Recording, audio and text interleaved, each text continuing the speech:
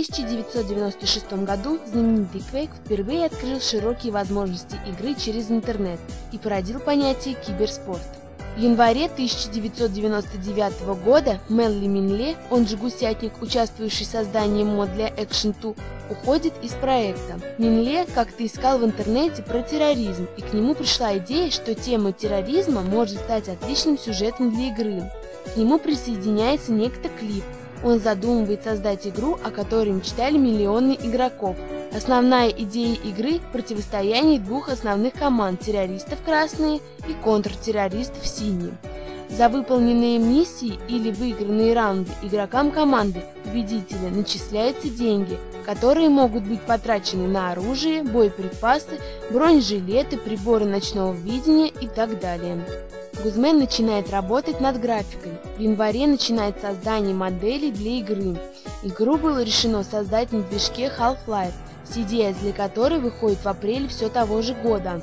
Этот движок легко расшифровывается многими доступными широкой публике программами, включая 3D Game Studio, но об этом в одной из следующих программ. Весной же появляются и первые сайты, посвященные будущей игре. Ле обещал создать именно то, о чем мечтали миллионы игроков, поэтому первый же анонс к игре был принят с восторгом. 15 марта 1999 года Минле называет официальное название для будущей игры. Как нетрудно догадаться, название так и не сменилось с того дня. 19 июля выходит Counter-Strike Beta 1.0. Поскольку игра была бесплатной и ее можно было скачать с официального сайта, народ стал ее очень сильно интересовать. Первый игровой сервер для игры появляется в начале осени того же года. Аудитория игры постепенно увеличивается – Народ, уставший от зеленых лазеров и дымящихся ракет, с большим энтузиазмом бегали и стреляли из реально существующего оружия. Тем временем Гузмен выпускает все более качественные беты, что привлекло еще большие народные массы. Как выяснилось по результатам опросов ведущих игровых сайтов, игра стала самой популярной интернет-игрой 1999 года. 12 апреля Valve заявляет о своей поддержке как моральной, так и материальной, к созданию пятой беты присоединилась канадская фирма Bucking Dog Studios, так же как и Гузман, находящаяся в хороших отношениях с Valve. На их совместные работы Valve выделила средства, которых хватило не только на чистку кодов для Counter-Strike, но и на многое другое. Плодом их сотрудничества стала очередная версия Counter-Strike. Bucking Dog Studios после работы с Valve отправилась на вольные хлеба и стала создателем одной из лучших игр 1999 года Homeworld Cataclysm. Популярность игры постепенно возросла, а после выхода 8 ноября 2000 года финальной версии Counter-Strike 1.0 достигла невероятной высоты. Игра выходит в двух версиях – коробочной и бесплатной, которые выложены для свободного скачивания в сети – Игра, в принципе, создана одним человеком, оставила далеко позади Quake, Unreal, Delayed Force и вместе взятые. После выхода Counter-Strike 1.0 Минле выпускал новые версии без изменений общего геймплея, а только фиксил баги и добавлял новые навороты. В том же 2000 году Valve заявил о выходе одиночной игры Counter-Strike Condition Zero. В 2004 игра выходит в свет – Valve решает оставить наработки первый Counter-Strike как Deleted Missions, но все ухищрения не помогают, и геймерское сообщество признает ее неудачной. Counter-Strike Conditional Zero и Deleted Missions удалены в процессе разработки игры эпизоды для одиночной игры, которые позже были доработаны и выпущены в виде отдельной игры, идущей в комплекте с Counter-Strike Conditional Zero. На территории стран СНГ эту игру можно найти в составе коллекционного издания «Антология Counter-Strike» от Буки. Counter-Strike Source – второе дыхание классического Counter-Strike. Несмотря на относительную новизну и техническую совершенность, не мог побить рекорды популярности предыдущей версии. Безусловно, она популярна и играбельна но многие старые игроки отказались от ее использования и продолжили играть в Counter-Strike версии 1.6.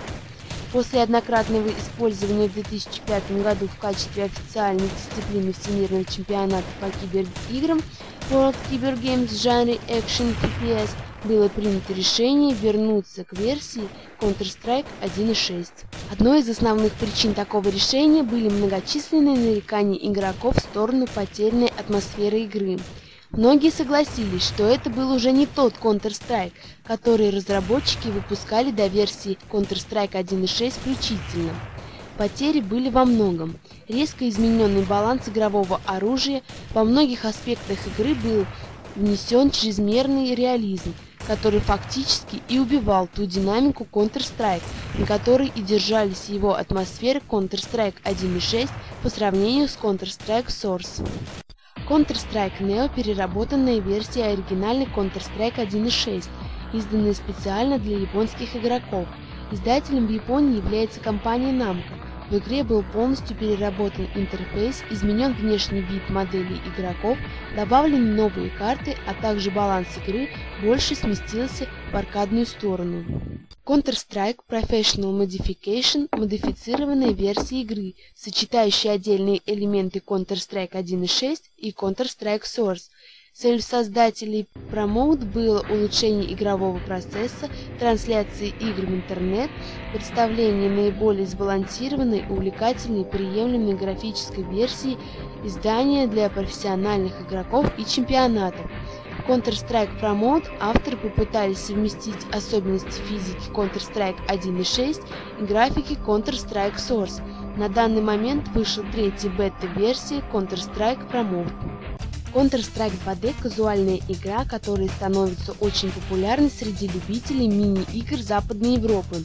Из многих ремейков игры Counter-Strike, а также Солдат 2D и другие Counter-Strike 2D наиболее приближена к оригиналу в плане геймплея и мультиплеера. Есть и карманные версии Counter-Strike, Counter-Strike Mobile или Counter-Attack, что нетипично для подобных игр полная 3D графика. В 2008 году корейский разработчик онлайн-игр Nexon в сотрудничестве с Valve собираются вдохнуть третью жизнь в популярный шутер было объявлено о завершении первого открытого тестирования мега-хитовой игры Counter-Strike Online, поклонники которой живут во всех странах мира. Тестирование проводилось в Южной Корее. По информации компании, бета-версию Counter-Strike Online закачало около 170 тысяч жителей этой страны.